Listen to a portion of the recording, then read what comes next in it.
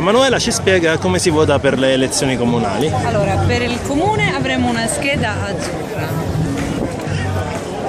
Bisogna mettere una X sul simbolo, Ok, preferibilmente anche sul nome di Marcello De Vito. perfetto, si possono dare preferenze? Certo, quest'anno per la prima volta eh, si possono dare due preferenze, però devono essere un maschio e una femmina.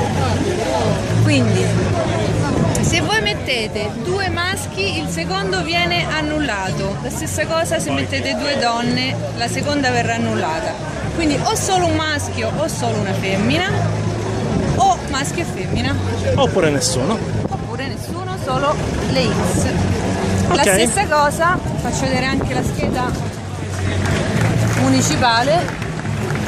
Qui per il decimo municipio abbiamo come presidente Paolo Ferrara, movimento, e la stessa cosa vale per il municipio. Grazie. Non siamo un partito, non siamo una casta, siamo cittadini, punto e basta.